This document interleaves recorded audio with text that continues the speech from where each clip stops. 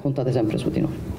Italia e Ucraina sempre più vicine. Continueremo a fare la nostra parte, dichiara con forza il Presidente del Consiglio e lo faremo a 360 gradi. Lo dimostra la conferenza bilaterale sulla ricostruzione di oggi, a cui hanno preso parte le più alte cariche del governo italiano e ucraino. Oltre al capo dell'esecutivo, i suoi vice Tajani e Salvini, i ministri Giorgetto e Urso, in rappresentanza di Kiev il primo ministro Smial e il titolare degli esteri Kuleba. In collegamento anche il presidente ucraino Zelensky che ringrazia l'Italia per aver organizzato un appuntamento così importante per la ricostruzione della sua terra. Un impegno che io avevo preso personalmente con il presidente Zelensky e come tanti altri impegni che l'Italia aveva assunto ha inteso mantenere anche questo. Tavoli tecnici dunque 600 aziende italiane chiamate a condividere la loro formazione con imprenditori ucraini perché la ricostruzione è parte fondamentale dell'azione di vicinanza all'Italia, come sottolineato dal nostro Ministro degli Esteri. Oggi investire sulla ricostruzione dell'Ucraina non è azzardato. Parlare di ricostruzione